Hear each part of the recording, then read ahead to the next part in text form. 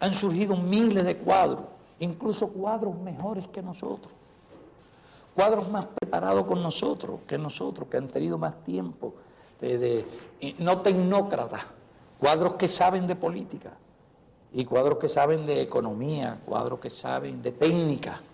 Yo estoy seguro que hay montones de cuadros mejores que nosotros, que vienen detrás de nosotros, que al menos tienen más preparación que nosotros. Lo que nosotros debemos saber es promover eso y no convertirnos nosotros en obstáculos de la promoción de esos nuevos valores. Entonces nosotros debemos saber promover a todos esos cuadros nuevos y estamos tranquilos porque hemos creado una obra que consideramos duradera, instituciones duraderas, permanentes. Nuestra revolución no depende de hombres ahora, esa es nuestra tranquilidad. De cómo podríamos ser felices si pensamos que todo aquello a lo que le hemos dedicado la vida se va a perder. Y nosotros tenemos un equipo de dirigentes, de gente que piense y de gente muy capaz, muy capaz. Si falto yo, ellos tendrán la responsabilidad, surgirá otro cuadro centro. Es posible que nos surja un cuadro que sea tan conocido, porque es verdad que los fundadores de revoluciones adquieren un prestigio muy grande.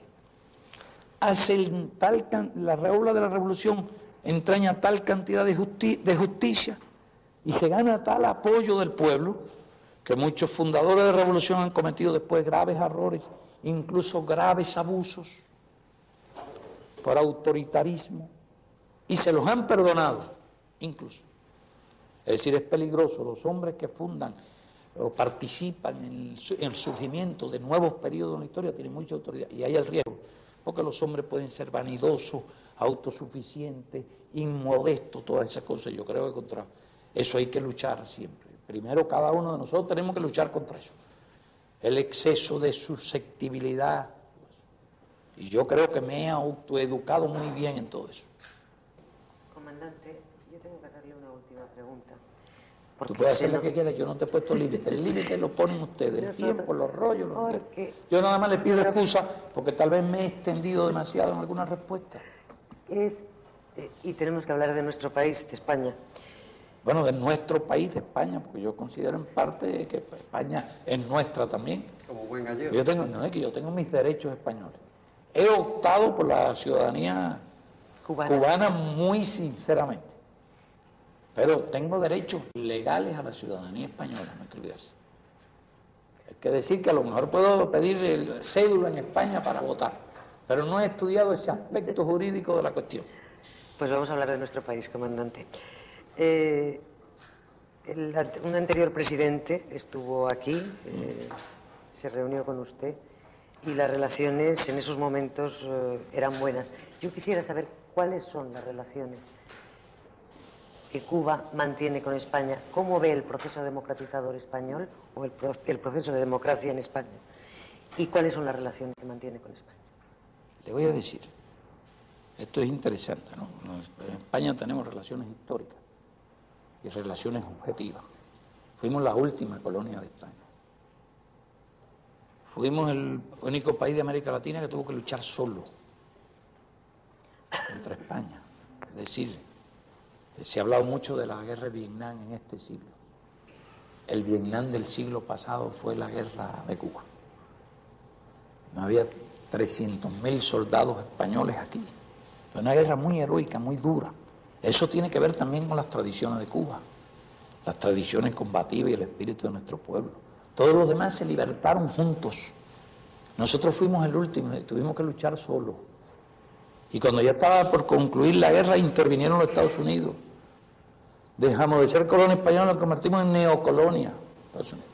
Pero quedaron enormes vínculos familiares, técnicos, económicos, culturales con España, costumbres españolas.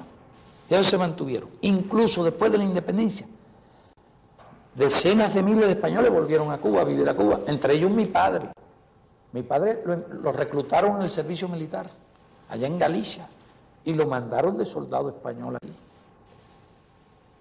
Y después que se acabó la guerra lo repatriaron a España y después él vino por su cuenta, porque era de una familia campesina muy pobre de Galicia. Consiguió el pasaje y volvió. Muchos españoles regresaron, muchos españoles se establecieron aquí. Fueron con los años, fue pasando, fueron pasando los agravios de la guerra. Empezó la influencia de una nueva cultura, la norteamericana, un proceso de colonización no solo económica, sino cultural. Creo que nuestras raíces españolas y, nuestra parte cultural española, porque tenemos cultura africana y cultura española, nos ayudó a resistir esa penetración. Pero bien, es decir, relaciones fueron históricas. Triunfa la revolución. Empieza una lucha contra el neocolonialismo. Estaba Franco en España. Y nosotros realmente éramos muy críticos de Franco. Y a pesar de nuestras críticas y nuestras diferencias ideológicas con el régimen, el gobierno español se mantuvo firme y mantuvo las relaciones económicas con Cuba y las relaciones diplomáticas. Eso hay, que reconocerlo. Parece que un poco el orgullo español influyó en cierta forma. Y como en cierta medida España fue muy humillada en la guerra del 98, al final de aquella guerra, oportunistamente, el Estados Unidos, que surgía como imperio, interviene con una mayoría abrumadora de armas, de hombres, derrota a España, hunde la escuadra española, impone condiciones humillantes a España. No hay que olvidarse que la intervención de Estados Unidos significó para nosotros el surgimiento de una nueva potencia neocolonial y significó para España una gran humillación. Yo creo que los vínculos que existían entre España y Cuba y un poco el orgullo español y tal, vez hasta el recuerdo de la humillación española puede haber influido en el hecho de que España se mantuvo firme, incluso el gobierno de Franco, debo decirlo. Y éramos adversarios ideológicos y críticos del gobierno español. Sin embargo, se mantuvieron las relaciones diplomáticas y económicas. Cuando se produce el cambio en España, las relaciones fueron mejorando. Ya dejaron de ser unas relaciones simplemente diplomáticas, formales y económicas, se desarrollaron más en los intercambios eh, culturales, se hicieron más contactos de tipo político, ya más contactos directos con el gobierno que no habían existido antes. Se produce por primera vez la visita de un jefe de Estado o de gobierno porque el jefe de Estado es el rey, al rey lo hemos invitado. Y yo siempre le insisto en que estamos esperando su visita por aquí. Pero se produce la visita del jefe de gobierno, mejoran las relaciones, se hicieron contactos muy amistosos.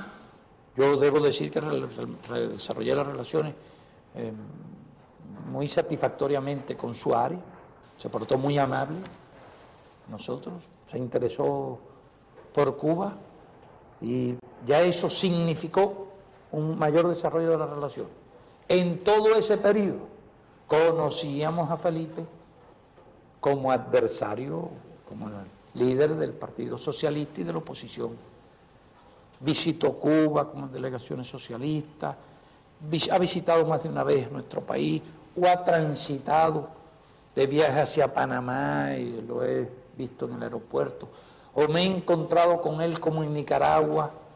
Hemos tenido muchos contactos, relaciones personales buenas y lógicamente hay una mayor afinidad política en el nuevo gobierno español con el Partido Socialista Obrero Español. No, es, no tenemos los mismos puntos de vista, las mismas concepciones, pero como partido de izquierda tenemos más relaciones, más cercanía más cercanía político y más mm, relación personal con él. No hay duda que el proceso de, democratización de España ha significado un enorme avance. Creo que los españoles se han de sentir muy satisfechos de los cambios políticos, del nivel de democracia y de libertad que hay actualmente en, en España una situación muy diferente de la que existía al triunfo de la revolución. Me parece que ha sido un éxito político para España, y conocemos la historia de España, porque en la escuela nos obligaban a estudiar la historia de Cuba y la historia de Cuba y la historia de la colonia española durante 400 el descubrimiento y 400 años de, de dominio, hemos tenido que estudiar todos los gobernadores españoles, todos los golpes de Estado de España y toda la historia de España. Se conoce bastante la historia de España. Y yo diría que esta es una época sin precedente en la historia de España. Es decir, España nunca vivió un periodo tan prolongado de institucionalidad, de democracia como el que está viviendo ahora. Esperamos que ese periodo se prolongue indefinidamente. Es un país que se ha industrializado, alcanzó un nivel industrial alto. Nos interesa España los latinoamericanos, nos interesa España los países del tercer mundo. No quiero meterme en Honduras aquí. Una vez me metí a hablar de los problemas de la OTAN y me criticó todo el mundo y hasta Carrillo me criticó y dijeron que yo estaba haciendo una incursión de los, en los asuntos de España. Pero yo quise decir lo siguiente, que yo, le veo a España una oportunidad única y una necesidad de España, que son sus vínculos con América Latina y sus vínculos con el tercer mundo. Creo que en ese campo España tiene un gran porvenir todo lo que la aleje de esos vínculos, a mi juicio, nos perjudica a nosotros y perjudica a España. Mientras más se compromete España con Europa y más europea se sienta, nos sentimos afectados. Sé que una mayoría de los españoles quiere la comunidad económica europea. No podemos oponernos o criticar que España por razones económicas quiera participar de los beneficios de la Comunidad Económica Europea, pero puede perjudicarnos en cierto sentido. Habría que ver cuál es el régimen de relaciones comerciales entre España y Cuba y España y América Latina después que España entre en la Comunidad Económica Europea, porque podemos salir perdiendo y no nos interesa mucho. Mientras más se mantenga España alejada de bloques militares, y lo digo con toda claridad, mayor puede ser mejores pueden ser las relaciones de España con América Latina y el tercer mundo. Y yo veo en este momento en que surge en España la época de la institución la época de la democracia, del desarrollo, España que ha cometido muchos errores históricos, considero que cometería un gran error histórico en renunciar al grado de confianza al grado de relación que puede existir entre América Latina, el tercer mundo y España, por el hecho de que España forme parte de un bloque militar. Y lo digo realmente sin quererme meter, simplemente estoy defendiendo mi razonamiento y ya una vez me busqué una gran crítica por esto.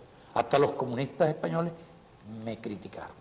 No me meto, pero me, acogiéndome a mi parte de español, y a la libertad de derecho de España, me tomo la libertad, eh, me tomo la libertad de dar este punto de vista. Quisiéramos a España neutral, quisiéramos a España fuera de bloques militares. Si España se compromete con un bloque militar, adiós las magníficas posibilidades que existen hoy de algo que necesitamos nosotros y necesita España son sus relaciones con América Latina y sus relaciones con, el tercer mundo. Pues nada más, queríamos darle las gracias especialmente por habernos concedido esta entrevista, a Rosa y a mí. Si tú quieres añadir algo para terminar. Solamente gracias, comandante. Yo simplemente quiero que me excusen por haberme extendido demasiado. Me imagino que ustedes tendrán que cortar y recortar. Ojalá dejen lo más sustancioso de todo pero los temas que ustedes abordan sobre 25 años de revolución, de antes y después del mundo, son muy extensos.